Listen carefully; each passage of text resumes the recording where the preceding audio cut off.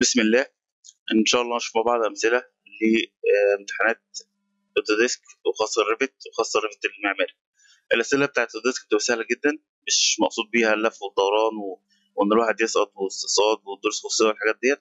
لا المقصود بيها بيشوف أنت بتمارس. البرنامج ولا درس نظري وما عندكش ممارسة عملية ليه؟ تمام؟ يعني هو مثلا من ضمن الأسئلة اللي بتيجي بيقول لك مثلا لو أنت حطيت الباب كذا وحدد لي type معين في الحيطه اللي هي الفلانية تمام؟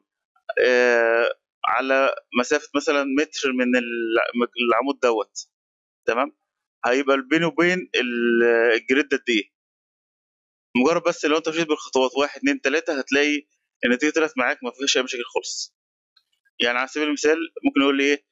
لو أنت شفت الأخطاء بتاعت المشروع هيبقى أنهي عمود هو اللي هيبقى فيه الخطأ رقم اتنين. العمود واحد ويروح كاتب لي هنا واحد وكاتب هنا اتنين وكاتب هنا تلاتة وكاتب هنا أربعة. أنت بتشوف أنهي واحد فيهم اللي هيبقى فيه المشكلة.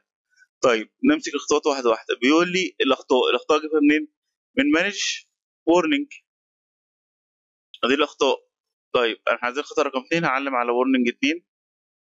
تمام؟ وأقول له show؟ تمام؟ بسم الله ما شاء الله. هو ده الخطأ. فده كان رقم واحد ده رقم اتنين وده تلاتة وده أربعة. خلاص مكتوبة قدام في الورقة هروح كاتب في الإجابة دي رقم أربعة هي اللي هيبقى فيها المشكلة. ده مثال لل... للأسئلة اللي بتيجي. من ضمن الأسئلة برضو ممكن يقول لي إيه؟ لو أنت شغلت ال workset تمام وخليتها workset العنصر ده هيبقى لونه إيه؟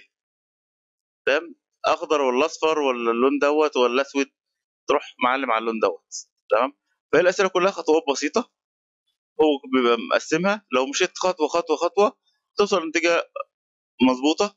لو بدأت من الآخر للأول متعرفش إزاي. في ناس إيه بتقرأ السؤال كده كتلة واحدة وتمشي خلاص بتلاقي الإجابة ما طلعتش مظبوطة. فهي أحسن حاجة إن الواحد يقرأ السؤال كويس ويجاوب عليه.